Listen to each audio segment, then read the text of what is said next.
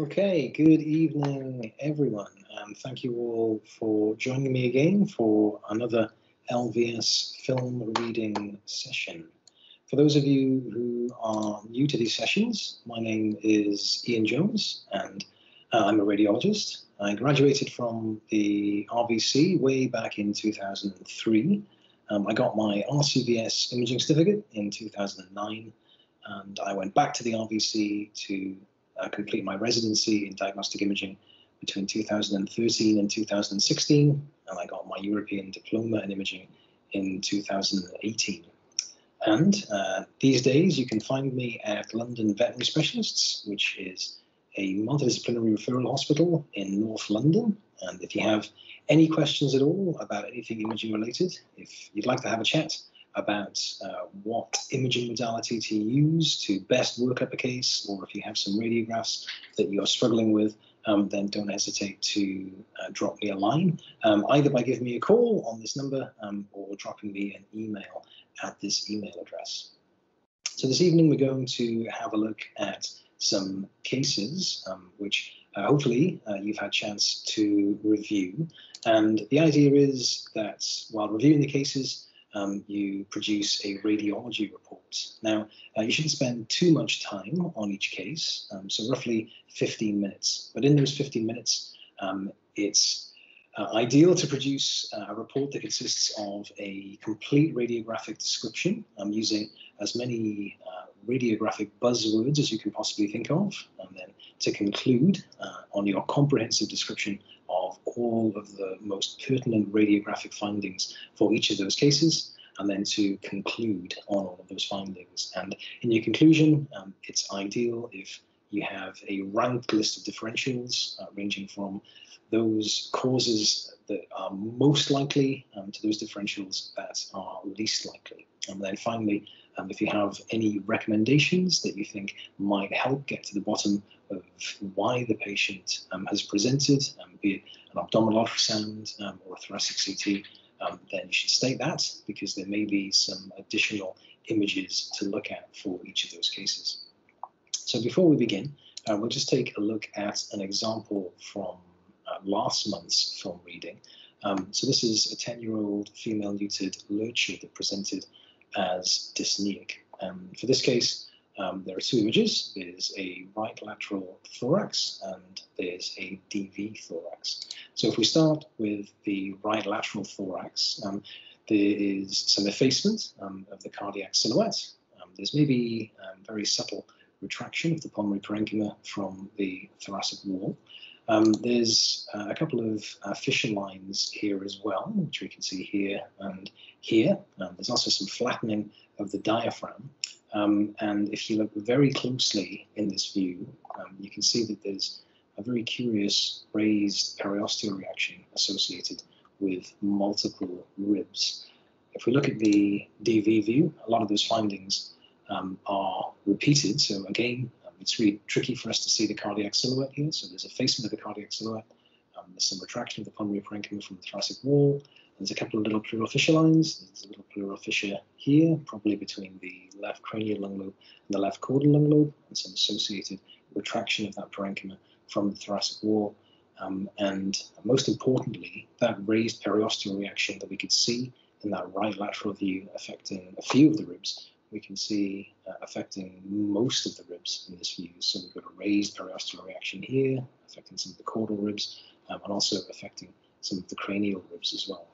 Um, so our conclusion for this case would be that there's a non-specific pleural effusion, um, and uh, that really could be anything. It could be um, a transudate, a modified transudate, an exudate, it could be a chylous effusion, or it could even be hemorrhage. But we need to try and link that non-specific pleural effusion in with the changes that we're seeing in um, all of these ribs. Um, so could it possibly be a chronic pyothorax and um, the uh, smooth raised periosteal reaction we're seeing on the ribs um, related to an underlying chronic infection, um, or could it be something neoplastic? So if there was um, a primary neoplasia, say, affecting the pleura, then that might potentially result in some changes uh, to the adjacent ribs. So uh, a recommendation here um, would be to CT the thorax. And for those of you who were here last week, um, you will have seen the CT and you will know um, that as well as the non-specific pleural effusion and the raised periosteal reaction affecting multiple ribs, there were multiple pleural masses in this patient, and the diagnosis um, was a mesothelioma.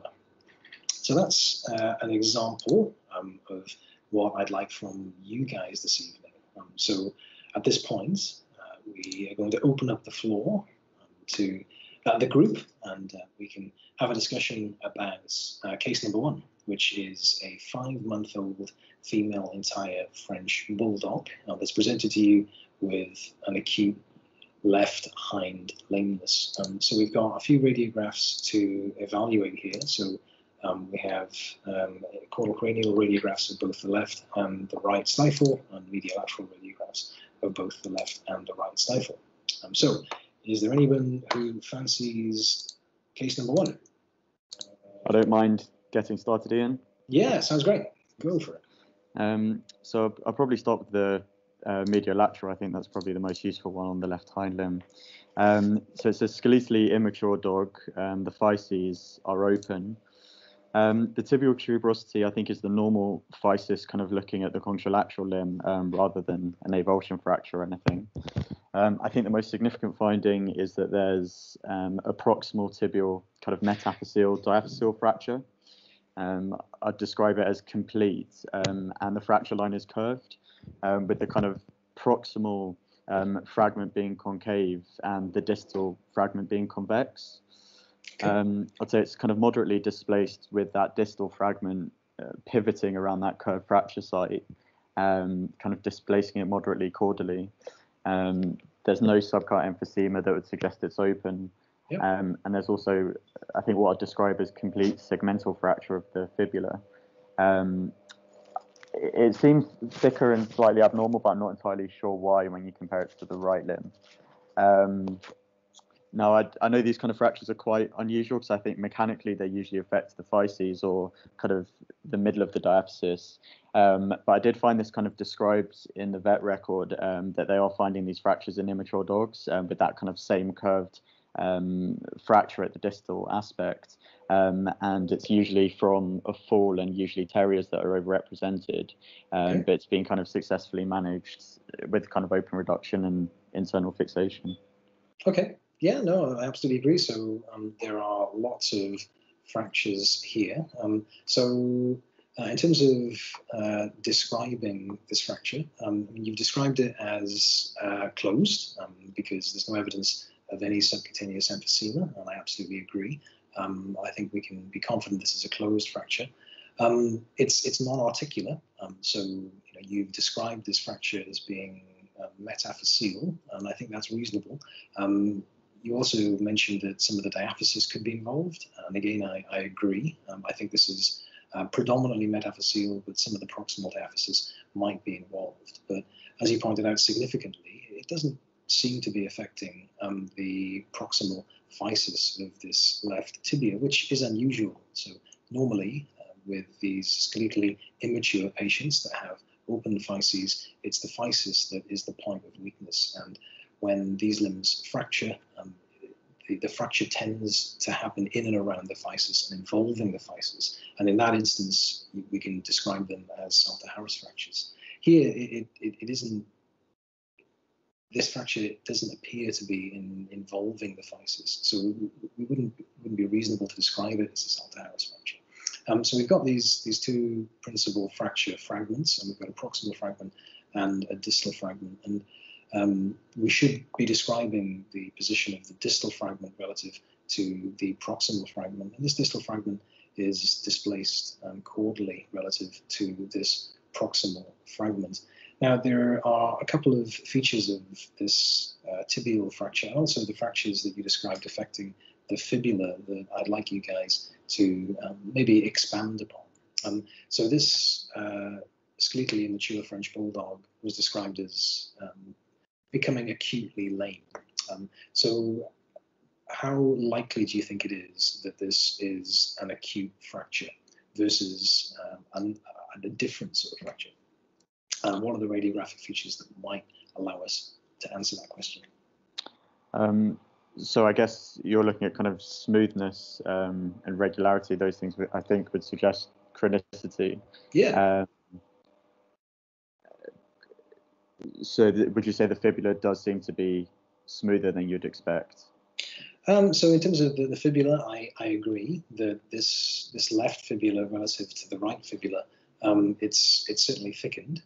Um, now I, I could believe that this this radiolucency at the level of the proximal left fibula represents a normal physis, but it's it's difficult to explain the two transverse fissures that are bisecting that left proximal fibula um, at, at, the level of the proximal diaphysis. So these these most likely represent fractures, and there there are some features associated with the transverse fractures of this proximal fibula and also this left proximal tibia that that might suggest a degree of chronicity to this fracture. And you've already mentioned one. So in very acute fractures, the um, fracture, the edges of the fragments uh, are very sharp and very clear. Um, and, and, here they're a little bit rounded um, and not quite as clearly marginated as we might expect if this was acute, if this was an acute fracture. Um, anything else about this fracture that might suggest a degree of chronicity rather than it being an acute fracture? Um, I, I, think sclerosis, but I can't see any here that would. I can't see that anywhere here. Yeah, so uh, sclerosis, absolutely right. And to be, I, I, I probably would say that there's there's, a, there's an increased opacity of the proximal aspect of this distal fracture fragment, and that could potentially represent a degree of sclerosis. So yeah, maybe a little bit of sclerosis right. of that medullary cavity. Anything else?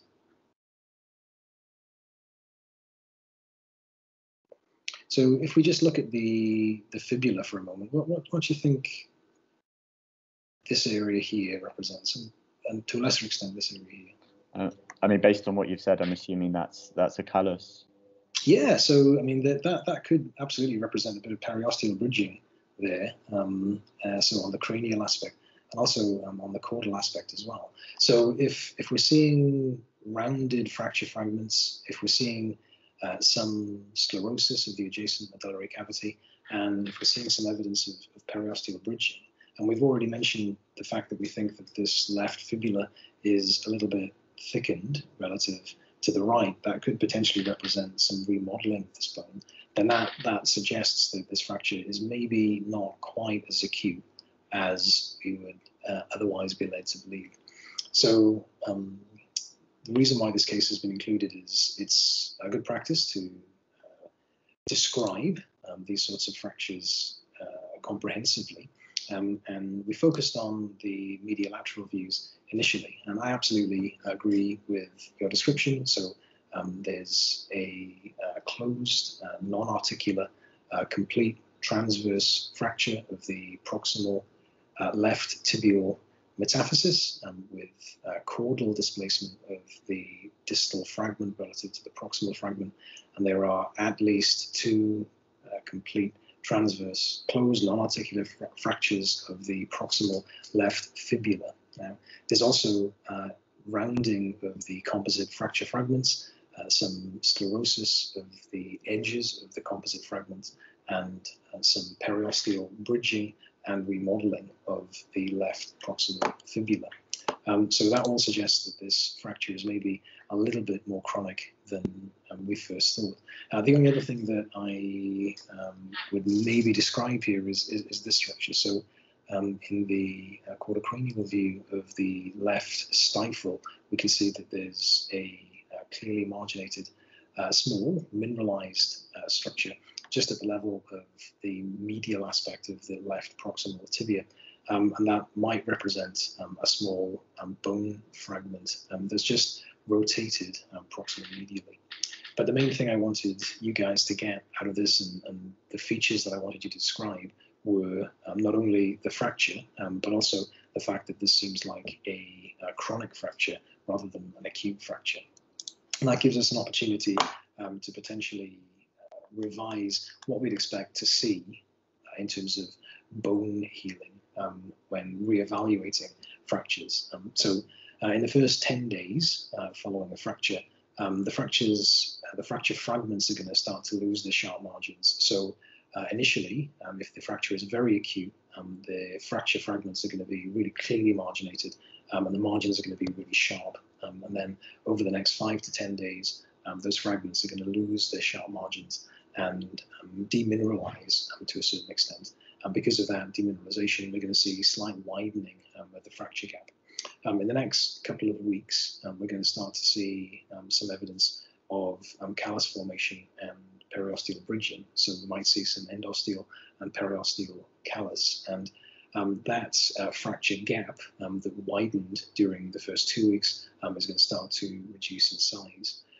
If there are any free fracture fragments that are a little bit ischemic, uh, we might start to see some loss of opacity of those fracture fragments as well. And then over the next four weeks, um, hopefully, if the fracture is healing normally, um, we're going to start to see those fracture lines gradually disappear. We're going to start to see more evidence of external callus formation and an increase in opacity um, of the bone as it starts to remodel. Um, and then in the months that follow, um, we're going to see continuous remodeling. Um, eventually, we hope to start to see that, that fracture completely disappear and start to see a normal trabecular pattern develop within the callus um, and complete cortical remodeling, so um, contiguous um, cortices where uh, that fracture once was. So um, th this this is an interesting case because it presented as an acute lameness, um, but in fact um, it's a chronic fracture, and um, that gives us an opportunity to uh, just revise all of the radiographic features associated with fracture chronicity, um, which we've just discussed. So yeah, nice job. Um, any of you guys have any questions at all about uh, case number one? So nice orthopedic case to get us started off. Uh, I have a question. Yeah. The uh, I mean, in in the in the mediolateral, the the fibula looks really swollen, like yeah. thickened. Yeah. Do, do you think it's more related with the remodeling because it's chronic, or would you put in differential some sort of uh, me metabolic um, disease, like chondrodysplasia ah. or like yeah. so, some osteo osteodysplasia or met metabolic disease of you know growing or yeah, I mean, I, I, suppose. Yeah, I mean, I suppose if, if, if there was some sort of metabolic disease here, I'd, I'd maybe expect the changes to be bilateral rather than unilateral.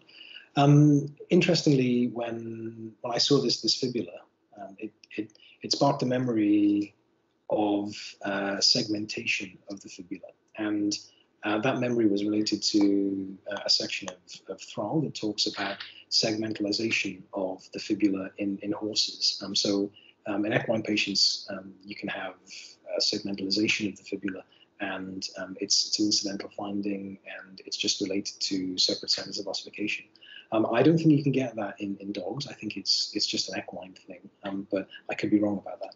Um, in, in, terms of it being sort of a, a, more systemic problem and a metabolic problem, I wouldn't necessarily uh, be able to give you any clear differentials for what might make the fibula look like that.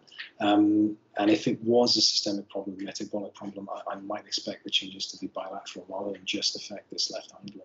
And also, we, we know that that this dog has had some trauma to its left hind limb because we can be pretty confident about the fact that this left proximal tibial metaphysis is fractured. So it's, it's maybe not unreasonable to assume that these fissure lines here are also fractures and the changes to the fibula um, are related to trauma that occurred at the same time as this uh, tibial fracture, and then the um, unusual shape and opacity of this fibula um, is, is, related to these fractures. That, that, that, was where I got to it. But I absolutely take your point. There are potentially other reasons why this fibula might look like this.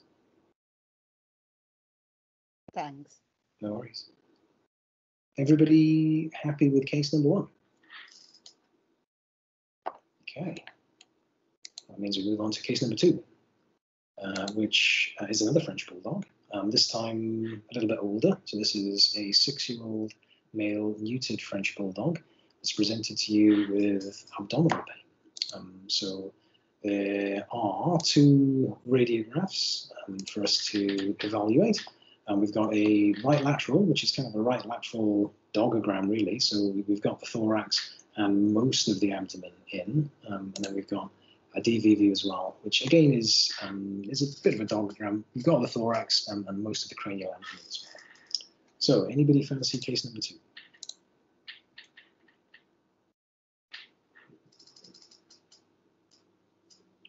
I can have a go.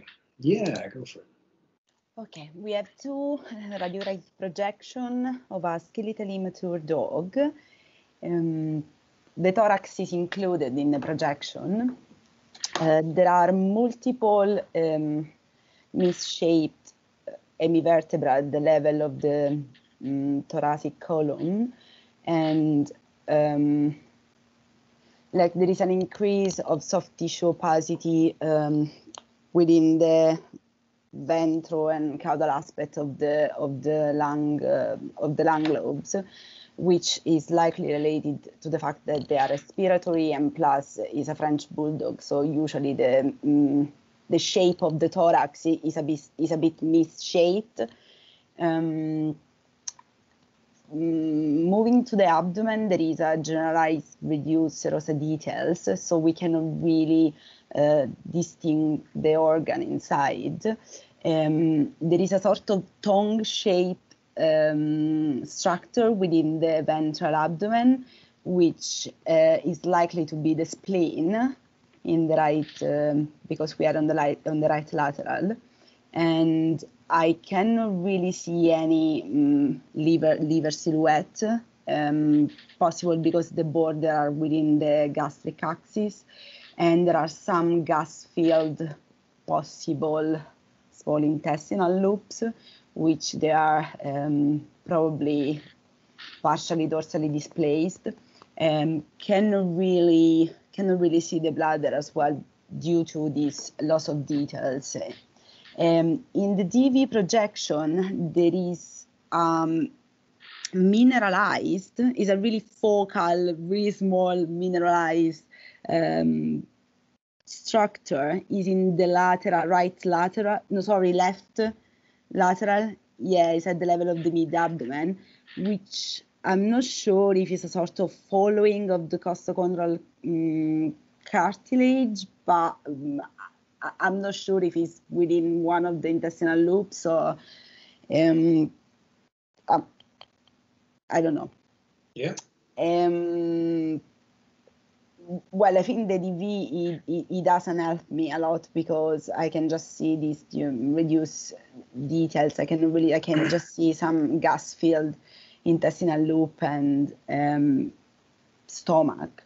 Yeah. So I, I, I, would probably put in differential diagnosis um, uh, generalized possible um, peritonitis, like inflammation of the mesentery, I'm small uh, amount of free fluid in the abdomen, and um, I, I cannot rule out any foreign body and um, secondary perforation of the gut. Yep. So uh, I, I, I would probably advise an abdominal ultrasound in this case. Yeah, absolutely. No, um, I completely agree. Nice job. Um, so now these are not the, the best radiographs, um, but um, they do contain some very useful information in terms of trying to decide why exactly this uh, six-year-old French bulldog has presented to us with abdominal pain. So um, I thought the description was um, excellent and comprehensive. So we've got a whole bunch of um, ab- abnormal thoracic vertebra, pretty standard um, for a French bulldog. So we're not going to get too distracted by that. Um, the thorax, um, because this is a French bulldog and this is an expiratory view, uh, it does look very uh, abnormal. So uh, we do have an interstitial pattern in the dorsocaudal thorax. So there's a little bit of an increase in interstitial opacity here. It's quite hard to see the cardiac silhouette um, and also the sternum are abnormal, so they all look fused. But we can pretty much write a lot of that off to this being a French bulldog and this being an expiratory radiograph. Um, the abdomen is really the main event here, and um, that's the reason why this dog is presented. So it's presented with abdominal pain.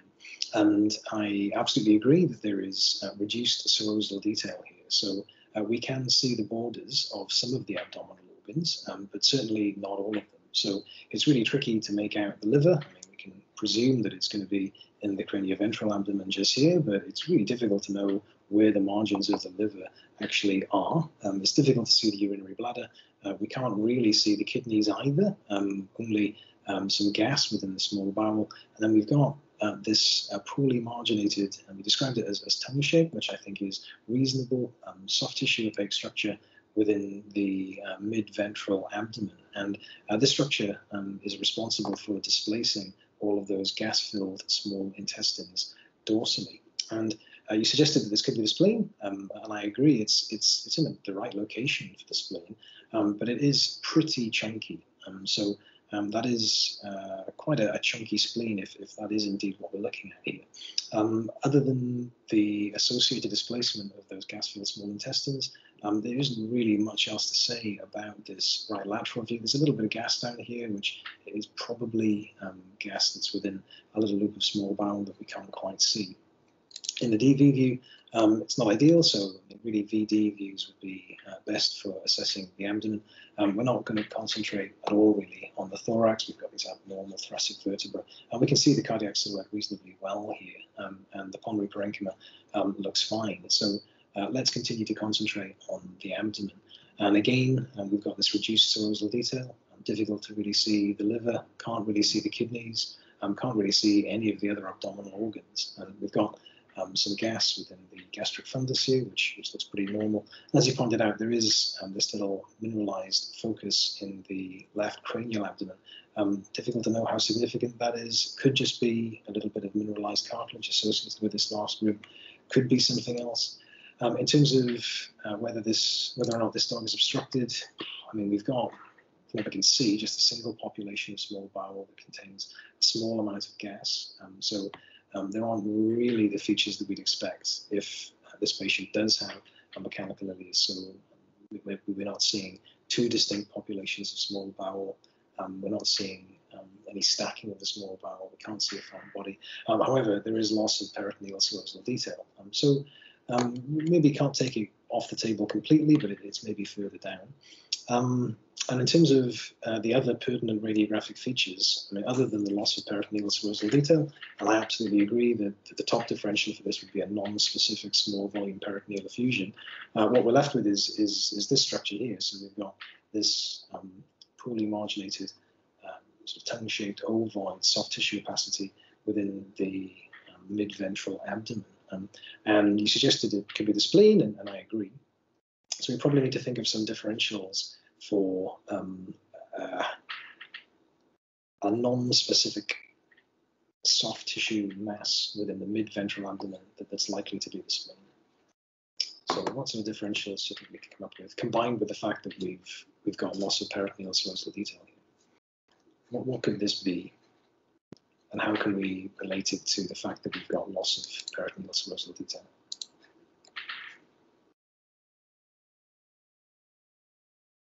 And that's that's for anybody, I suppose, not uh, not just for Nicoletta. Hmm. I think it, it could possibly be a hematoma, hemangiosarcoma, um, that if it's bleeding, I guess could explain yeah. the loss of detail. Yeah, absolutely. So it could could potentially be a splenic mass. And um, if this was a splenic mass like a hemangiosarc um, that is bleeding, um, then this patient could have a hemoabdomen, and that would absolutely explain the loss of peritoneal serosal detail. Uh, so yeah, that fits, that checks out. It could In, also be a benign thing like a, a, bleeding hematoma. Yeah, absolutely. So just because you can see a splenic mass doesn't necessarily mean it's malignant. Um, so you can you can get really big splenic hematomas that can pop um, and uh, those patients are going to have um, big abnormal spleens and are going to have peritoneal effusion. Um, so yeah, that's on that's on the table as well. Anything else? I mean, I think those differentials are reasonable, um, and certainly looking at these radiographs, um, I couldn't think of many other things that, that this could be um, when I evaluated um, this set of films. so uh, you recommended an abdominal ultrasound, and I think that is absolutely reasonable. Um, so uh, we have some ultrasound images to look at. Um, so I can I can walk you through these these ultrasound images because I think it's really challenging to interpret ultrasound images that uh, somebody else has acquired. Um, always best to uh, try and interpret ultrasound in real time rather than looking at stills. So um, we've got our first image here, um, which uh, shows the spleen. Um, so we can see the spleen here, and the spleen is looking pretty chunky. Um, so we've got um, some rounded margins of the spleen, um, and also uh, we can see the splenic vein here, we can see some hyperechoic fat that's just adjacent to the spleen, um, and also a small volume peritoneal effusion. So just here, we've got some anechoic fluid um, that's just adjacent to the spleen. Um, so that confirms our suspicions. Um, the fact that we've got a small volume peritoneal effusion here explains why there was such poor peritoneal serosal detail in those radiographs. Uh, in the next image, um, we are just uh, fanning around the spleen and looking at the body of the spleen. Um, so here we've got um, more of the spleen. Uh, this is the spleen.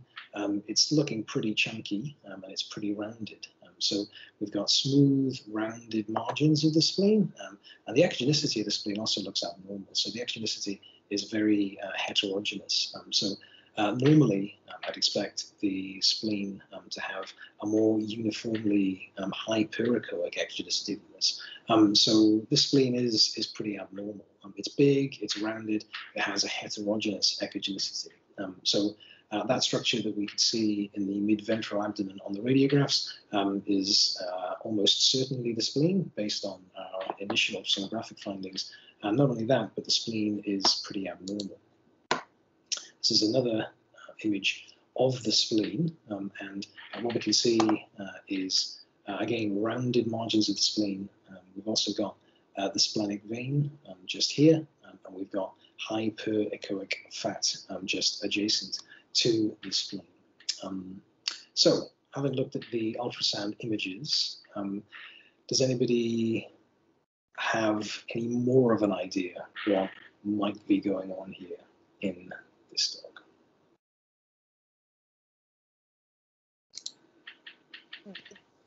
I mean, the splenic vein at the beginning wasn't complete. Uh, it's not completely epicoic. Uh, the the, cen- the center of the of the vein. Mm. Yeah, absolutely. So, I mean, I can tell you. Uh, so, I, I, I mean, I, we don't have any Doppler, but I, I probably I would check for any sort of thrombus or. Yeah, yeah, absolutely. So, um, so what I can say is if, if you were to put uh, a um, color Doppler on this image, then there wouldn't be any flow in this splenic. And there would be reduced flow in the splenic parenchyma. Could it be splenic torsion?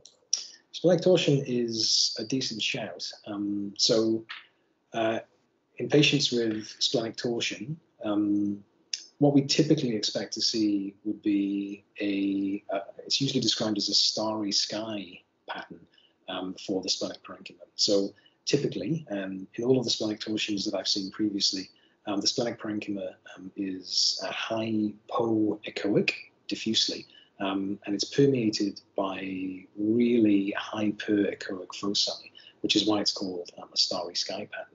Now, that isn't what we're seeing here. Um, so this spleen um, is diffusely enlarged um, with smooth rounded margins and has a heterogeneous echogenicity.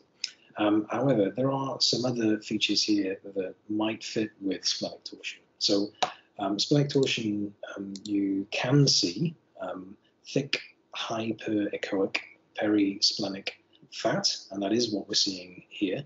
And if this spleen was torsed, then we would expect to see uh, reduced flow uh, within the splenic vasculature. And even though I don't have a Doppler image to show you, um, trust me, there was no flow in this splenic vein and reduced flow in the splenic parenchyma. So there are some features here that, that fit with splenic torsion. We've got a big, rounded, heterogeneous spleen. Um, we've got hyperechoic, thick perisplenic fat. We've also got a, I've also got a peritoneal effusion. So um, peritoneal effusion is a feature of splenic torsion, and um, it can appear hemorrhagic. And, and, what I can tell you is if you guys were to have tapped this peritoneal effusion, then it was a hemorrhagic effusion. So um, this patient effectively has um, a hemoabdomen. Um, if we go back to the radiographs, um, it's it's pretty tricky to be confident about this change. Um, but, but, normally we'd expect the head of the spleen to be here. Now we can't see it in this radiograph, and uh, that could be because there's loss of peritoneal serosal detail. But the fact that we can't see the head of the spleen where it should be, which is in the um, left dorsocranial abdomen, and the fact that we've got a giant spleen in the midventral abdomen means that splenic torsion is a possibility here. It's unlikely, uh, given the breed um, and potentially the way that this patient's presented, um, but it's certainly something that we should consider, and particularly given that I, I really can't see any any sign of, of, the head of the spleen here. And on ultrasound, we've got peritoneal effusion, it's hemorrhagic, that fits with splenic torsion. We've got a giant spleen, so it's it's diffusely enlarged with rounded margins and with a heterogeneous echonicity with reduced flow in the splenic veins and the splenic parenchyma, and also very thick hyperechoic splenic fat. That all fits with splenic torsion. It doesn't have a starry sky appearance, which doesn't fit with splenic torsion, and, and certainly um, all of the previous cases of splenic torsion that I've seen have had this starry sky pattern affecting the spleen. But it, it certainly should still be um, on the differential list. So um, my question to you guys now before we move on um, is what do we think? What do we think? What, are we going to do next with this dog? And I can tell you that um, because of the hemoabdomen, this patient had uh, a blood transfusion, um, was quite profoundly anemic as a result of the hemoabdomen. Um, clinically, the blood transfusion didn't really improve things. Um, so still have abdominal pain, still lethargic, still inappetent, um, still a very ill patient what do we think we should do? And if anyone is uh, shy uh, and they don't want to speak up, then uh, they can communicate via the chat. Um, so, so we've got one one vote for XLAP. Anybody else think we should XLAP this dog? Yeah. so, so a few votes for XLAP. Um, yeah, and, and I agree. I think uh, there's we've got we've got enough information to sufficiently justify an XLAP here. So uh, we've got a hemoabdomen um, on the radiographs. Um, we've got uh, a big spleen that is abnormally positioned. And on the abdominal ultrasound, um, we've got uh, some sonographic changes that are compatible with um, splenic torsion. Um, so that's what we did. So this patient went for our XLAP, um, and this is what we found. So this is uh, a picture taken intraoperatively of uh, the spleen in this patient. So spleen is huge, um, as we might expect. Um, we've got this, this hemorrhagic peritoneal effusion, um, and we've got this really thick um, splenic, perisplenic fat, which we could see on the ultrasound. Um, so um, that really confirms all of the sonographic changes that we picked up when we were scanning this patient.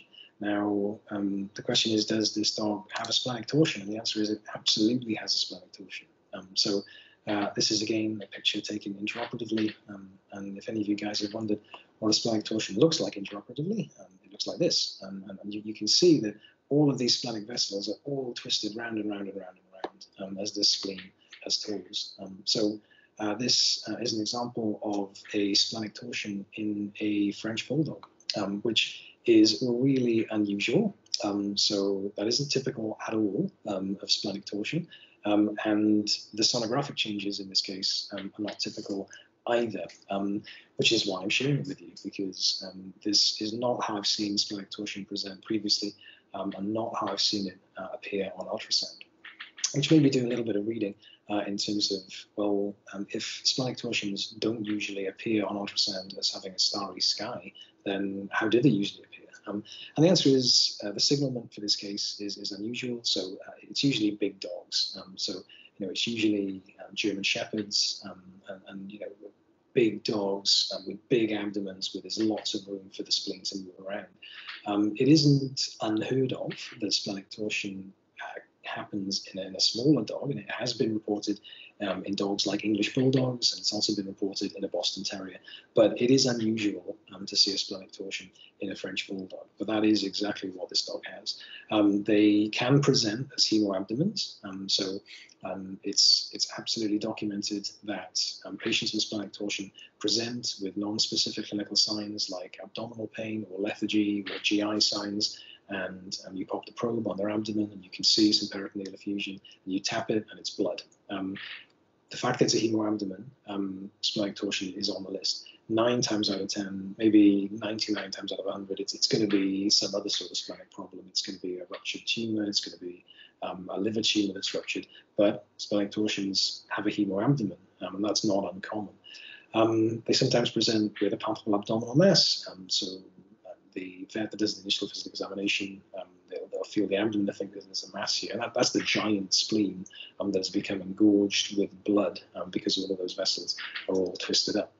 Um, the starry sky appearance is is typical and, and pretty pathognomonic. However, um, you don't have to see a starry sky spleen in order for it to be torsed. And that's that's what this case taught me. So all of the other splenic torsions I'd ever seen had always had this starry sky appearance not the case in this patient. Um, so even though it is typical, um, it, if you don't see a starry sky appearance in the spleen, that doesn't mean you can completely rule it out.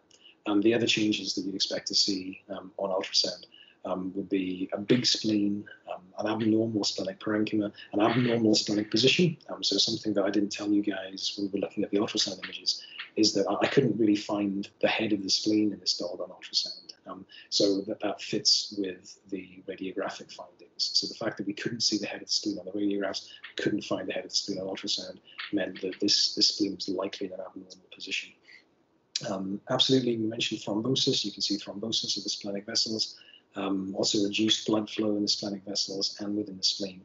Um, and um, there's there's been this hyperechoic perivenous triangle that's been described. Um, so that really thick hyperechoic um, perisplenic fat, um, that's that's a typical feature um, of splenic torsion. so there we go. That's an example of a splenic torsion in a French bulldog. I've never seen one before. now you guys have, and hopefully um, you guys will be able to uh, recognize splenic torsion if one comes along. Probably not in a French bulldog, probably in a dog that's much bigger, um, but really useful case um, to allow us to review um, all of the typical features of splenic torsion. So yeah, nice job. So I promise none of the other cases are quite as unusual as that one. so, so case number three, which is a little bit more typical, um, is, is an eight-year-old female neutered domestic short-haired cat. It's presented as dyspneic. Um, anybody fancy case number three? And there aren't really any surprises with this one, I promise. It's, uh, it's, it's much more typical. I'm happy to give it a go. Yeah, go for it. Okay, so um, we have three views of uh, skeletally mature cats. Um, I think the quality of the x-rays is acceptable. However, there's probably a blurry element because the animal's rapid breathing. Um, on the right lateral chest view, I can't see any obvious skeletal problems, and the abdominal cavity appears within normal limits. Yeah. Um, the cardiac silhouette appears enlarged, and I believe yep. there is cardiomegaly. Yep. Um, I think the vertebral heart score, if I'm not mistaken, is around nine in this case. And there's an abnormally enlarged left atrium as well. Um, I think there's lung lobe retraction, especially on the caudodorsal and the cranio-ventral lung lobe. And I think there's increased lung opacity on the cordial and the mid lung lobes on both right and, and left sides, more visible on the, um, I think, dorsal-ventral view. And I think I can even see two bronchograms. Um, with respect to the pulmonary vessels, I've got my suspicion that they can be enlarged, but I cannot confirm 100% on these radiographs because of the microchip location and also because it's quite blurry. Um. But I'm not sure if the um, uh, the artery might be a little bit more enlarged, but I, don't know. So I guess we've got cardiomegaly with enlarged left atrium, pulmonary edema, and possible pleural effusion as well. So cardiac disease is quite high on, on my list, but I would like to proceed with a TFAST to confirm my diagnosis. Okay, yeah, absolutely. Um, so, yeah, can completely agree with all of those findings um, and also uh, the conclusion. Um, so, uh, as you've described so beautifully, um, we've got cardiomegaly here. So this this heart is too big um, for a cat. Um, so we've got increased sternal contact and we've got slight elevation of the cardiac apex from the sternum um, in this right lateral view, um, which is abnormal. You mentioned the vertebral heart score, and I think that's a reasonable way of assessing cardiac size, but just, just eyeballing this heart, it, it takes up almost three intercostal spaces, so that's too big for a cat. Um, we've also got this bulging of the caudal border of the cardiac silhouette. And um, in a cat, um, that is compatible with left atrial enlargement. So left atrial enlargement in a cat um, usually way more subtle um, than in a dog. So a cat with a big left atrium secondary to HCM um, is going to have a, a subtle bulging of the caudal border of the cardiac silhouette compared to, say, a Cavalier King Charles Spaniel that has a big left atrium um, secondary to uh, mitral valve disease. It's going to have a huge left atrium that is going to take up a lot of the hilar region, and more often than not, is going to displace that trachea dorsally. So this little bulge here um, is absolutely typical of a big left atrium in a cat. Um, I completely agree that we, we can't really comment on the pulmonary vasculature. They, they, it's pretty tricky to see the cranial lobar vessels in this right lateral view um, and in the DV view as well. Um, it's really hard to see them um, because of this patchy interstitial pattern. Um, in the right lateral view, um, we have got this, this patchy increase in interstitial opacity, predominantly um, dorsally and caudally, and that could absolutely represent pulmonary edema. And we've got potentially a very slight retraction of the pulmonary parenchyma from the thoracic wall, although it is, it is pretty subtle. It could be a tiny little fissure line just here, um, if there is a fissure line um, and these lobes are retracted, um, then the pleural uh, effusion is going to be a really small volume. Um, and certainly that, that, isn't, that isn't the most significant radiographic change here, the most significant feature. In the DV view, as you pointed out, we've got again these, these patchy increases in interstitial opacity, um, both in the right caudal um, and in the left uh, caudal lung lobes. Um, and on top of that, we've got associated effacement of the margins of the diaphragm as well. And we see similar changes in this left lateral view. So uh, again, heart kind of looks chunky, got this slightly bulgy caudal border of the cardiac silhouette, and then this patchy increase in interstitial opacity. Um, so yeah, I completely agree. Um, we've got cardiomegaly, we've got left atrial enlargement, we've got a patchy increase in interstitial opacity uh, bilaterally, and that fits best with underlying cardiac problem, most likely uh, HCM because of the left atrial enlargement and an associated left-sided heart failure and pulmonary edema with maybe a small volume pleural effusion. Um, so the reason why this case um, is in um, is just to demonstrate what a big left atrium looks like um, in the lateral views in a cat. Um, so we've already mentioned usually much more subtle in a cat than in a dog with, say, mitral valve disease. So you're just going to see kind of a big heart just bulging of the caudal border of the cardiac silhouette. Um, also to demonstrate that the distribution of pulmonary edema in a cat that is in left-sided failure um, is um, not as predictable as in a dog. So in a dog with mitral valve disease, that has left-sided failure, you typically expect the pulmonary edema to form in the hilar region and dorsally and caudally. Um, in a cat, um, it's it's much more random. Um, so uh, having uh, patchy areas of uh, either heavy interstitial or alveolar change throughout the lung um, would be typical for a cat in heart failure. Um, the edema doesn't follow the rules, the same rules as dogs, so it isn't hilar and dorsal and caudal, it could be anywhere. Um, so the fact that in this DV view we've got these sort of patchy areas of increased opacity um, bilaterally and uh, throughout the lung, particularly caudally and a little bit more cranially on the left, again fits the pulmonary edema um, in a cat. Um, in cats with HCM, uh, in, in, a DV view, uh, what, what's most typical is this Valentine-shaped heart. Um, so in the DV view, you see um, a big left atrium, and it's often described as kind of a bilaterally enlarged atria, um, but the heart looks like a Valentine heart. We can't really see that here uh, because the margins of the cardiac silhouette are being effaced by um, what we think is this edema that's in the left um, caudal and the right caudal lobes. Um, so yeah, I absolutely agree. Um, any anything else about these radiographs that you guys might want to comment on, and uh, more about radiographic technique rather than uh, actual pathology, because I think you pretty much nailed that. Um, we can be pretty confident about uh, why this cat is dyspneic. So we're pretty confident this is a cat that has underlying cardiac disease. It's got a big left atrium. It's most likely got HCM and uh, left-sided heart failure with pulmonary edema. That's pretty good. Uh, yeah, what else? What else is going on here that um, that we might want to comment on, and potentially be horrified by if we see it? And uh, yeah, Rosa has uh, has nailed it. Anybody else see anything that you guys might want to comment on? The hand of the radiographer. Yeah, so this this view's fine. So that's all cat, but then we've got this. And then in this view, we've got this. So these are hands in the primary beam, which we should never, never, never do. Um, so uh, this is just to um, to emphasize to you guys the importance of good radiographic technique. It is never okay to have your hand in the primary beam. Never, never get your fingers in the primary beam. Never, never get your hand in the primary beam. Um, if you do, then that's what it looks like. Um, but you shouldn't ever be looking at radiographs that have fingers um, in the primary beam. All right. Okay, good job. So that was case number three.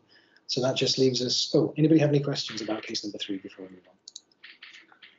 I just wanted to quickly ask about, um, you know, the one or two air bronchograms. Is that not is that not enough to call it alveolar rather than interstitial, or is that not? Yeah, correct? no, no, no, absolutely. If you if you think you can see air bronchograms, and, and I don't disagree, there could be some little air bronchograms here, then you can call it alveolar. Um, if if you see air bronchograms, then it's an alveolar pattern.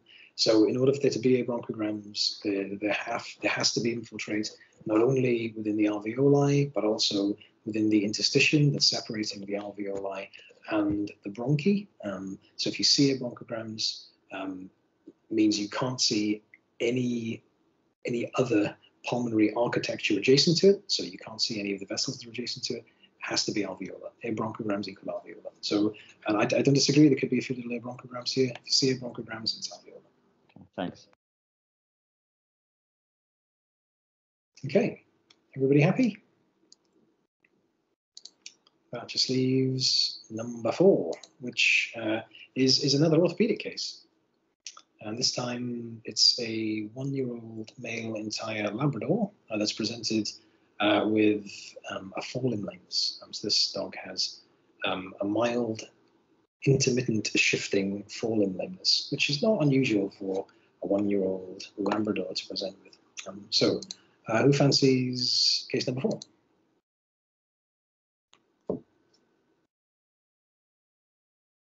And these are absolutely the sort of radiographs that you guys are going to be evaluating in first opinion practice. This is absolutely the type of case that is going to present to you. And I promise it's not a splenic torsion.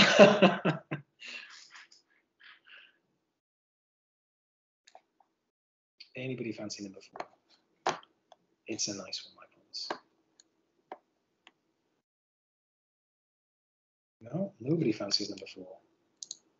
I can do it. This is definitely not the hardest case of the bunch. You want I can do it? Yeah, any any takers, any takers. Okay.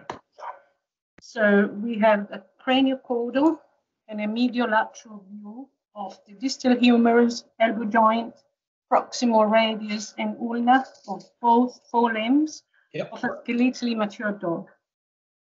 So in the left um, forelimb, we can see bone deposition cranial to the radial head, osteophytes. Yeah. Yep. And we can see them also on the right. Sorry, I'm jumping from one Yeah. To the other. Um, in the right forelimb, So here we can see osteophytes, also medial to the edge, to the medial edge of the coronoid process of the ulna. There.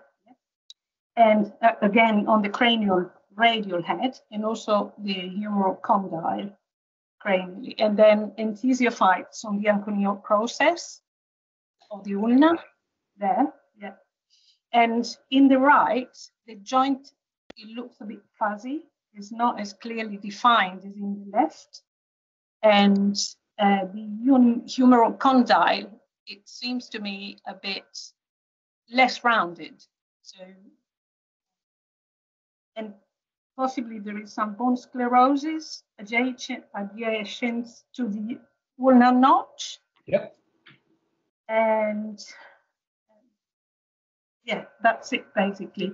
And the, the left is definitely better yep. Than the right. So the changes are a lot less severe. Here, the cranial edge of the coronoid process is probably still quite distinct, whereas in the right is more um, is more fuzzy, more indistinct, everything.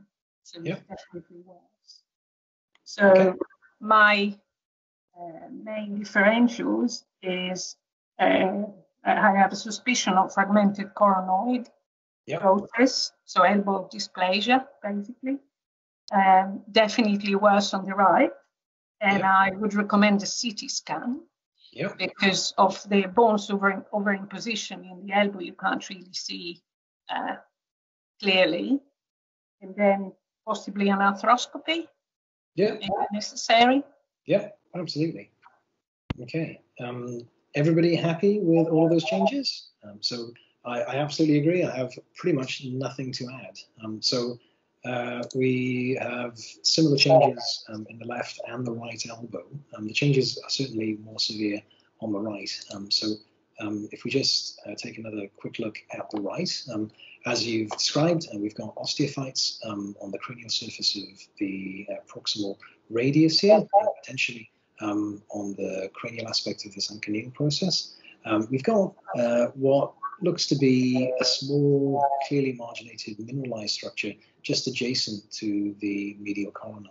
Now, that, that could potentially be an osteophyte, um, or it could be um, a little fragment. Um, it, it's, it's difficult to say um, just by looking at these radiographs. So osteophyte and fragment should absolutely be on the differential list here.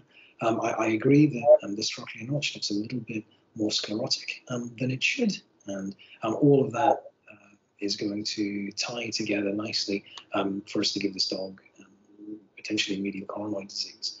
Uh, so on the left, uh, we've got smaller osteophytes just on the cranial surface of the proximal radius. again, maybe some more subtle sclerosis of this trochlear notch. the medial coronoid here uh, looks okay, so the margins look reasonably crisp and clean. Um, so uh, we are still suspicious that there's bilateral disease here um, because we do have some changes on the left. We've got um, this subtle sclerosis and also uh, these osteophytes. Um, but certainly we have um, changes on the right um, that would lead us to believe that there's bilateral medial coronoid disease, maybe even some fragmentation of this right medial coronoid process. so yeah, good job, absolutely. Uh, anybody else have anything to add to that description, which I think was excellent, um, before we take a look at CT? Because that's what's coming. Here. Okay, everybody happy? Okay, so recommended a CT. I think that's absolutely uh, the right thing to do here. Um, so we'll just play the CT through. So this is a 1.25 millimeter bone reconstruction of both the left and the right elbows. It's running through reasonably quickly, um, but we're going to come back and take a look at um, the more pertinent features.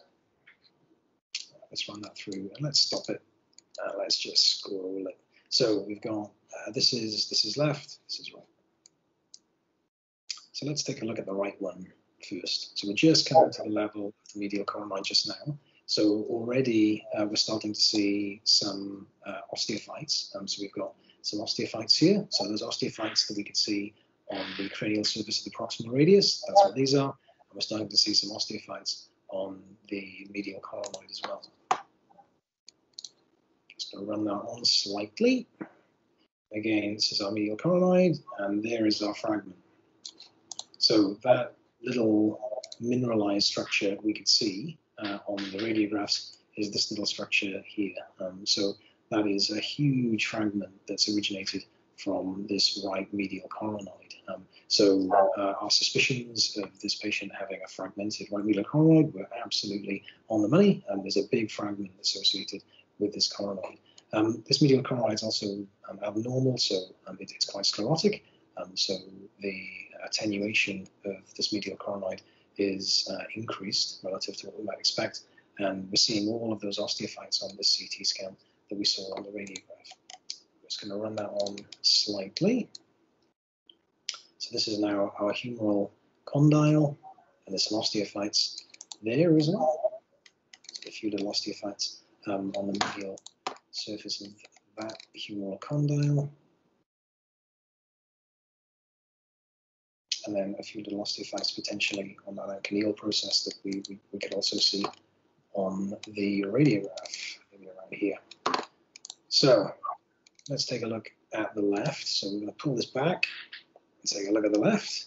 So the left, the changes were much more subtle. Um, so on the left, we really only could see some osteophytes on the cranial surface of that proximal radius, maybe some sclerosis of the uh, trochlear notch. Uh, we couldn't really see uh, any evidence of any fragmentation on the left, but let's let's take a, a, closer look. So we're just coming to the level of the medial coronoid now on the left. That's our medial coronoid. Actually, there is a tiny wee little fragment um, on that left medial coronoid that we couldn't really see on the radiographs. So just here, there's, there's a very subtle little fissure line that's just bisecting that medial coronoid. We've got a little fragment that's just adjacent to it, just there. As well as uh, those changes um, that we picked up on the radiograph, uh, we've, we've also got some sclerosis of that medial coronoid, so very similar to what we're seeing on the right. Um, and as, we said before, we've got these osteophytes on the surface of the humeral condyle um, and also on the cranial aspect of that proximal radius.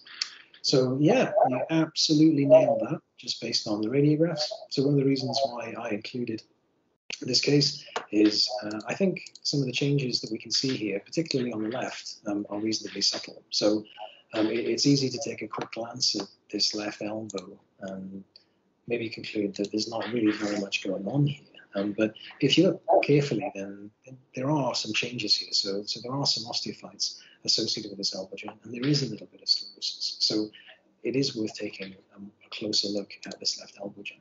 And again, um, if you just maybe cast a quick glance at this right elbow, you might think, well, it doesn't really look too bad. Um, but if you take a closer look, you see that there are a number of big osteophytes here um, in a number of different places. Um, so proximal aspect um, of the cranial surface of that radius, the anconeal process. We've got little mineralized structure that's adjacent to the medial coronoid, um, and potentially an anconeal process as well.